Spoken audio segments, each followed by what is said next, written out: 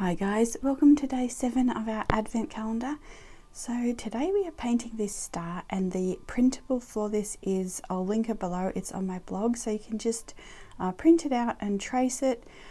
Um, so what we're doing here is every section we're trying to make sort of um, look sort of 3D. So you can see that the first section I painted is supposed to be the uh, the lightest section. So I used um, sun gold and now I am mixing the sun gold. So that's by Paint and Paper Studio. I'll link it below. I am mixing that now with a bit of the Wallace and Seymour Tenebrese. So um, again, I will put all these um, paints below. Uh, but what we're doing is kind of going around. So we, we're going around and painting the left section of the star so that that can dry and then we'll paint in the right section. Uh, so now I'm using Shell Pink and Tenebrese and I am just um, basically going around and, and the facets, so it's kind of like one of those, um, you know, stars that go up and down and it's like a 3D star. So the left side here we are trying to create as the part where the light's hitting it, so they're a little bit lighter in tone and then this one here is just going to be the uh, Turner Pearl Red.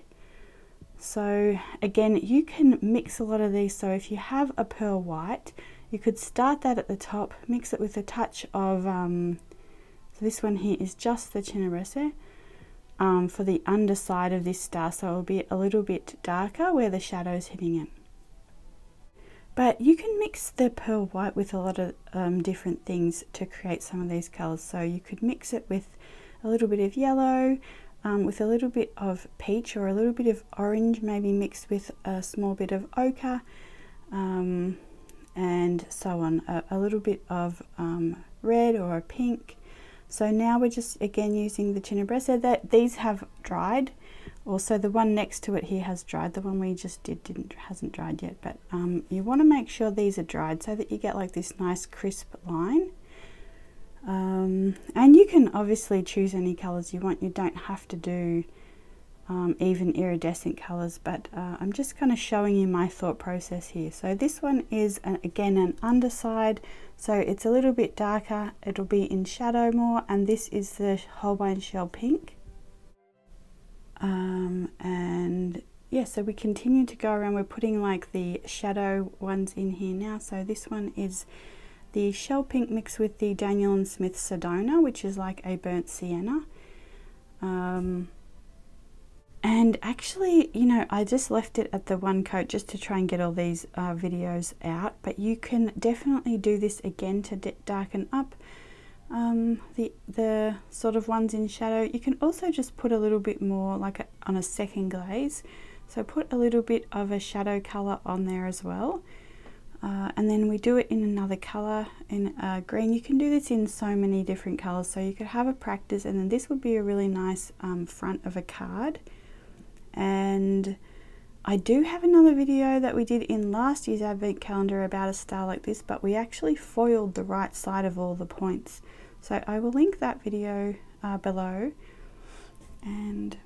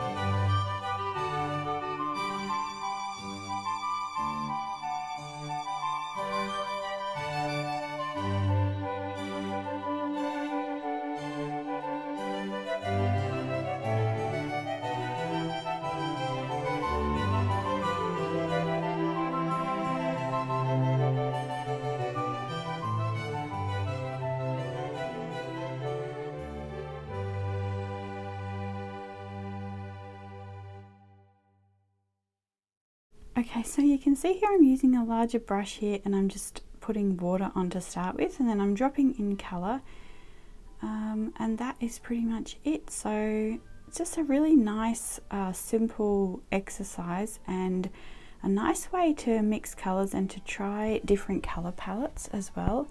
And you can see like the the darker that you put the kind of right side, so the, the star on the right page here, the green one, you can see that like on the right side here I've chosen darker colours and it really starts to make that 3D effect sort of come to life.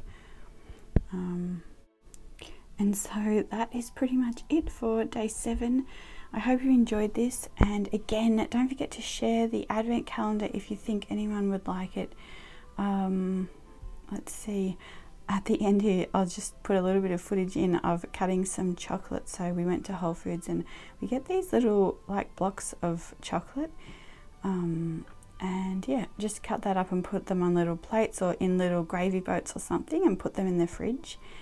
Um, I'm not allowed to eat it this year but um, yes those pandemic pounds are trying to come off so it's a bit of a struggle. But um, yeah, it's really nice. Like, it's a nice little treat, and everyone seems to enjoy it. So, I hope you guys have a really lovely rest of the day, and I will see you tomorrow. Bye.